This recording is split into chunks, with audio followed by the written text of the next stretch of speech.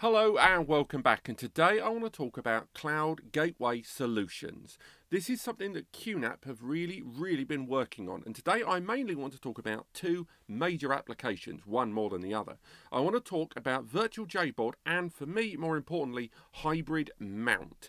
These are two uh, up and coming gateway solutions, both of which are available in beta right now in QTS if you check it out. And at the QNAP Tech Day event yesterday, I learned loads about these two applications and mainly why they are such a big, big, big deal. Now, if you want to learn more about this and my voice annoys the hell out of you, and let's face it, you're only human, I do recommend you check out the NAS Compare article. They've um, basically gone from the entire seminar that was there, I've gone through all of the highlights, but I'm going to be utilising this to make sure I stay on track, because let's face it, I do like the sound of my own voice. But let's get straight to it. Cloud Gateway Solutions. What is the big deal? Surely when you buy a NAS, that should be it. You should be sorted. You should be able to access your NAS via the cloud and the network, and that's it, you're done. But it's really not as simple as that.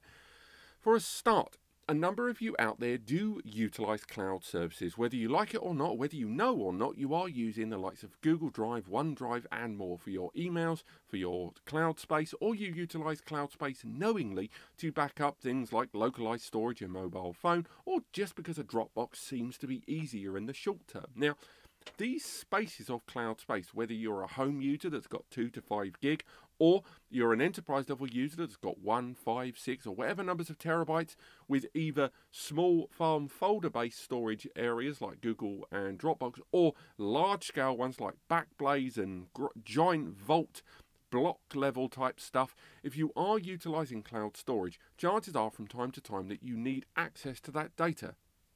And this is where things like hybrid mount from QNAP are very, very important. They're giving you the ability to not just synchronize with that data because you don't want to use up space on your NAS with that cloud space. You want to be able to access that data. Moreover, utilize that data via the NAS, and that's what hybrid mount does. It, use, it uses hybrid storage um, systems that's incorporating cloud and NAS storage and merges them and mushes them together. It does that in a number of ways, the most important of which is hybrid mount, which is when you get your cloud space, let's say your Google Drive, and you take your space of Google Drive, let's say it's 25 gigabytes of cloud space, and you mount it on the NAS very, very easily in a very user-friendly fashion.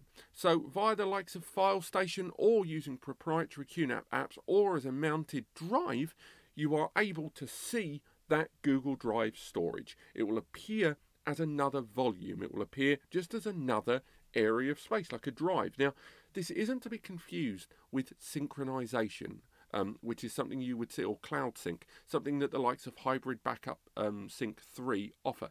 Synchronization is when you've got a cloud space mirrored to an area of space on your NAS, the two of which are always the same. They can either be synchronized or time managed with incremental, or they can do versioning where you keep lots more data than is on one or than the other.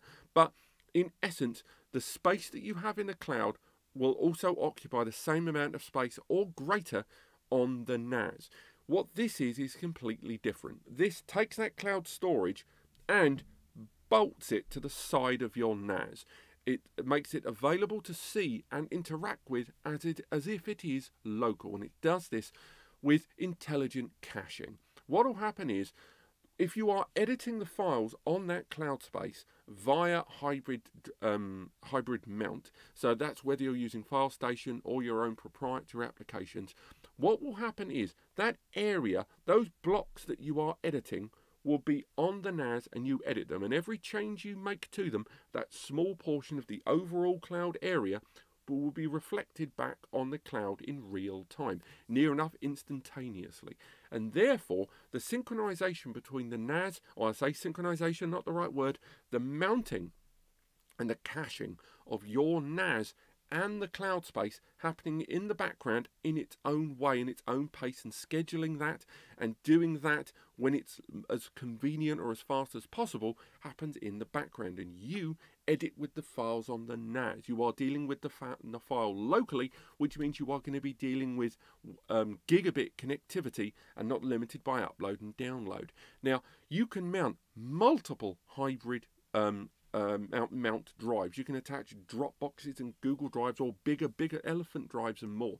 And you can bolt those onto the side of your NAS um, in uh, terms of functionality and allow yourself to interact with them. Now, there are loads of reasons why you might do this. Snapshots to make sure that your snapshots are kept off site rather than cloning them on the NAS and synchronizing them.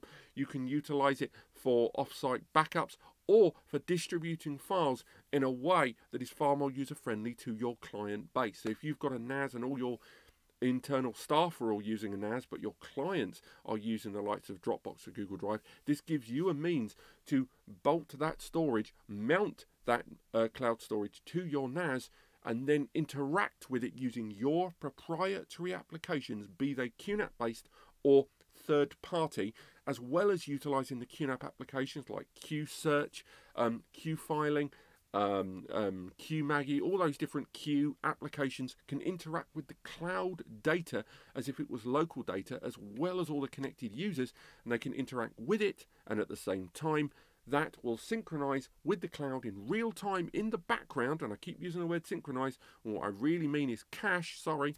It will cache the data that changes with the NAS and therefore make that accessible. Now, it's worth highlighting that there are certain rules, much like gremlins such as if multiple people are dealing with one file, it's worth remembering that the very last person to edit that file, their version, if they all mount and they're all accessing the same mounted cloud drive, so you've got your Dropbox mounted to the QNAP and multiple connected users to the QNAP are accessing it, the result is the last person editing it, their version will become the final version, which may be problematic. So to counter this, in the software, there is the ability to either have it set up to be that way, or in the event that multiple users are accessing the file at the same time, you can create another version of that file. Now, don't get me wrong, that's not ideal at this stage because that will start utilizing more of your cloud space, something you're paying monthly for. For now, that's the best way to do it. QNAP are, uh, do say they're looking into ways of doing it and locking that file. So if one user is interacting with it on the cloud, it will lock it within the QNAP via hybrid mount and therefore stop other users from making changes. So that's something that can hopefully affect that, and that's something that's going to be coming very, very soon. But Moving from that, we can talk about the other cloud gateway that QNAP are working on, and that's Virtual JBOD. Now, Virtual JBOD or VJBOD allows you to take all or some of available space on a NAS and mount that space. It lets you take that space and mount it much the same way we just discussed with cloud space and make it available to other NAS users and indeed make it available to the cloud because some cloud services allow you to bolt NAS space as if it's their own. So you'll go to the cloud provider, pass me the NAS Virtual JBOD, this lovely area of space on the NAS, and then they can interact with it on the cloud. And in the background, the cloud gateway and Virtual JBOD and hybrid mount, if that's the case, will then synchronize it and allow this lovely connection between these connected users. Now, hybrid mount solves a number of things along with virtual JBOD as well. I know I'm focusing more on one than the other, I know. But the two case scenarios that um, QNAP are keen to point out are as follows. One is the most obvious one, the one that I can definitely get on board with. That's one where, say, at the moment, your office, and I'm not going to mention some, there's a company I was talking to not a short while ago uh, based in Brighton, uh, Brighton, England, I love the seaside, who have got 10 people, some of which are editors, working from files on a Dropbox. That means you've got up to 10 people, even though their internet connection's pretty good, the upload not so good. Even though they're all interacting and working on Dropbox files and they've got localized synced folders on their Mac and Windows systems, they're still all utilizing the upload and download, which is incredibly inefficient. Now, Hybrid Mount would allow them to get one NAS, stick it in the middle, all those users connect to the QNAP. Don't get me wrong, lovely, all there, they're all connecting it via LAN, so they're all sharing 100 megabits or more if they're using 10 GB or something.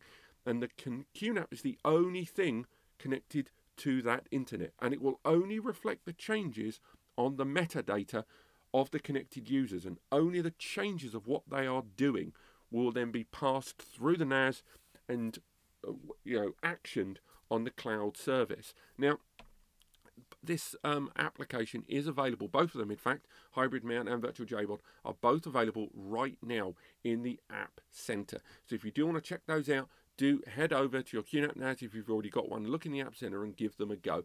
Um, there are two licenses included when you originally set it up, but if you do want to attach more services, you will have to pay for licensing on. I'm not sure if they've got the licensing system live yet, and I know a number of you do not like licenses, but be honest, this is a new service and I need to see how it works. And once you're working with cloud providers, there's all kind of stuff to do with uh, licensing. And do remember that they are porting over a lot of the techniques to do with compression anti-duplication where they are supported here. Stuff that we have seen a lot of in QuTS hero and upcoming innovations from QNAP's own Tech Day, as well as file streaming and file pinning are things that are being introduced into these services. Stuff that we've already seen on kind of the client side with Windows systems.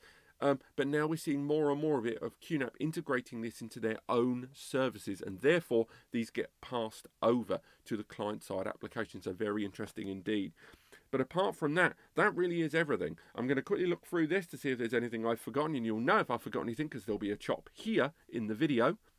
I knew I'd forget something, and of course that is to do with Virtual JBOD. Now, Virtual JBOD is going to require you to have some unfettered space. So a number of services that you're going to see released at Tech Day coming very, very soon do involve making sure that your file system is set up in the right way. So a number of you, when you first set up your QNAP for the first time, you probably noticed it asked you to uh, look at space reservation, whether you wanted to use 100% of the overall space for the storage pool or create a stor storage pool on the volume and therefore that storage pool takes up as much or as little as you want. If you are going to use virtual JBOD, you do have to remember that you have to have an area of unreserved space on the storage pool that hasn't been taken by the volume.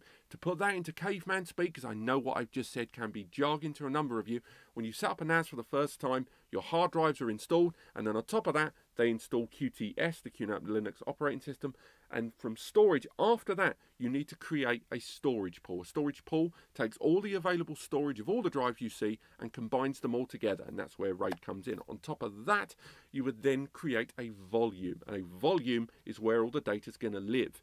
And the volume can be as big as all the available space that's there on the storage pool underneath, or you can use less for the volume. And the space that you're not going to use, this can be utilized for your uh, uh, virtual JBOD that can be mounted on other NASes or can be mounted on cloud service providers. So do bear that in mind for virtual JBOD, that is something you're going to have to integrate early on. But thank you so much for watching. I hope you found this video useful. If you enjoyed it, click like.